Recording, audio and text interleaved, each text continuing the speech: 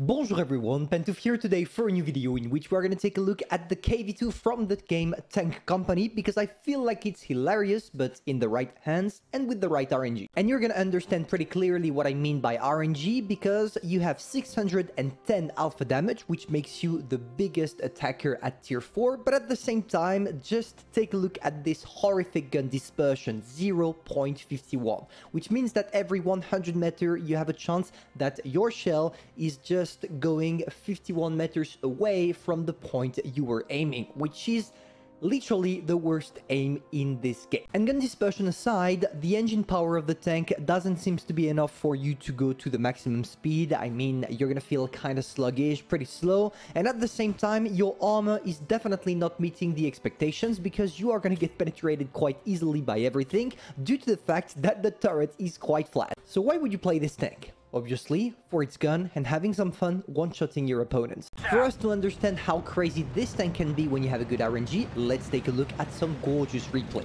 I'm playing on Honolulu, the brand new map that Tank Company developers added a couple of days ago, and basically you are gonna see how hilarious it can be when you are getting some support. Because obviously when you take a look at the KV2 by itself, it's not a tank that will be able to sustain on the battlefield.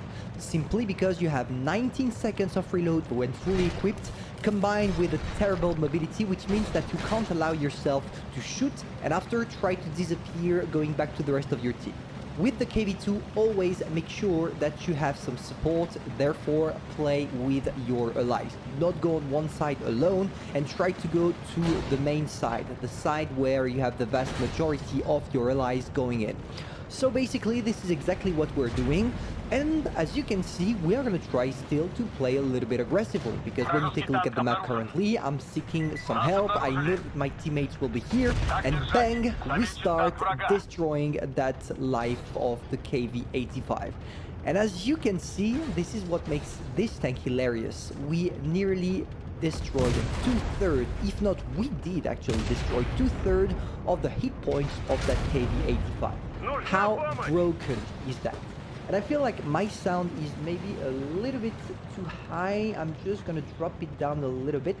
Just like that, it should be better. And I was saying, you see that all the time I'm sticking with the rest of my team. Something I forgot to mention about the tank is how terrific the gun, the uh, gun depression sorry, is.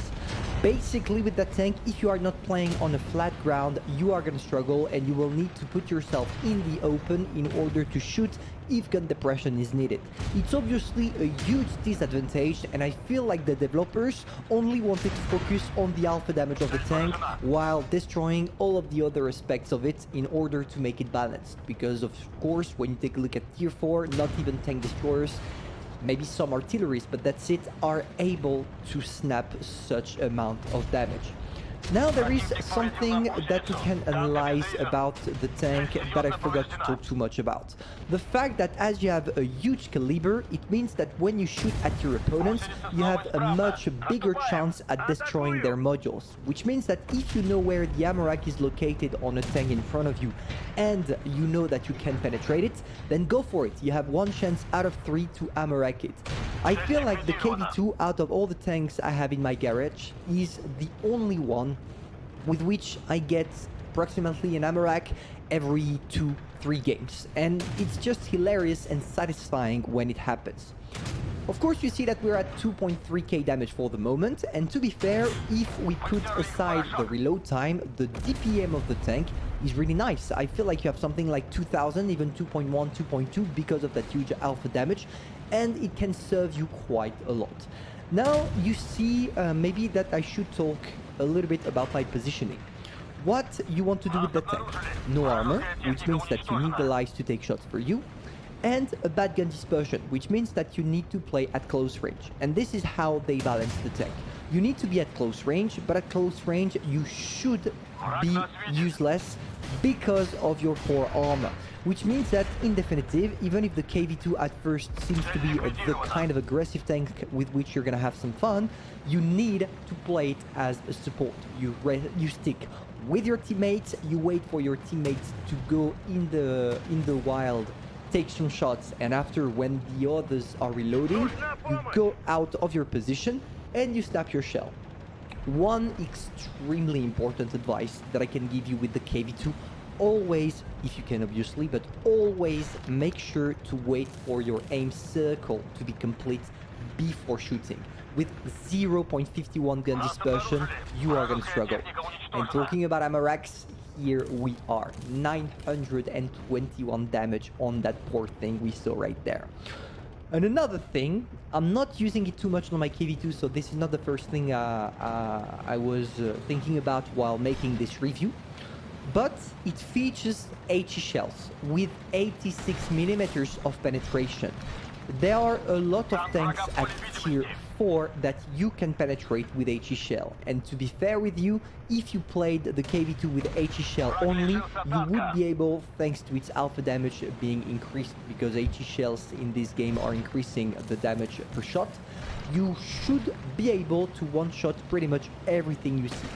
Of course it's dangerous, because you never know what you are gonna face, so personally I would rather uh, use AP AP shells that have 126 millimeters of penetration, but it can be hilarious. It can be fun if you are playing in a platoon uh, with a teammate that is following you H24 around. Then you could try to play with H. I never tried, so I'm not going to tell you if it's good or not. All I can tell you is that with 86 millimeters of penetration, there are some tanks you will penetrate, mostly mediums, but if you want to use those in order to penetrate the heavies and go on the heavy side, do not try that tactic. It's only if you want to play the KV2 on the medium side. Now we're not gonna bother, we are gonna increase a little bit the, uh, the replay in order not to wait too much for us to get to the position. Basically, we got lucky that the remaining people with us, the T-3485, was a real player because it allowed us, or it allowed him, to uncap the base, which gave me enough time to go on the Jumbo. And here and now, I'm gonna use what I need, aka the HE, because I know that the Jumbo is pretty armored and I don't need to effectively penetrate it. It has like 50 hit points right now, and with an HE, even if it's a splash damage, it should definitely be enough to kill the boy. So there we go, sitting at 4.5 thousand damage now and 7 kills. We know that he can't kill us in one shot except if he hammer us. And plot twist, uh, it shouldn't happen because obviously uh, my ammo is located at the back of the turret and I'm not gonna show the back of my turret to that boy. So what we're gonna do is we are peacefully gonna rush him to death. And this is exactly what's gonna happen. So let's go, back, back, back. Let's advance the replay a little bit, not to make you wait too long. We get to the jumbo, and now look at this. He's he's running away. He's gonna stab the shot, and oh boy, I didn't even try to aim. I went in, straight shot him. Boom, we kill him, securing 8 kill, 4.5k damage. And it was good because the vast majority of players in this game were real players, so it was quite enjoyable. And to finish off that review, just a heads up on how you should equip your KV2. Personally, I went for the hammer rack because the loading time uh, bonus it gives you is just huge because 5% on 6 seconds, it's not the same as 5% on uh, 22 seconds and this is why I'm reloading in 18.7 seconds. The second thing I'm definitely advising you to use is the ballistic computer in order to decrease your gun dispersion and making you more accurate as you have the worst gun dispersion in the game not including arties then you definitely need to use that and finishing off with the turbocharger, but you could go for something else if you feel like it. But basically, I'm using turbocharger and increasing my engine power and therefore my top speed simply over the fact that I like to play my tanks aggressively and I like to be the first one to get into position. And for that, as a heavy, turbocharger is a must. In definitive, the KV2 is really double-sided. What I mean by that is that it's either you are going to have the greatest RNG of them all and you are going to have hilarious games in which you are going to one-shot tanks uh, straight, like uh, one one-shot, reload, one-shot, reload, one-shot, reload, or sometimes it can be also the most frustrating tank because every time you miss a shell, it's 19 seconds of reload. And 19 seconds of reload in a tank game is pretty long. So it all depends on your RNG, but it's definitely worth keeping it in your garage because there are not too many tanks at tier 4 that are able to one-shot with regular shell approximately half of the people you are gonna encounter. So yeah, get yourself a KV2. And this review is now over. If you enjoyed, feel free to subscribe, like, and share. Tell me in the comments what next tank you want me to review on Tank Company, and hopefully I'm gonna see you soon for a new video. Bye.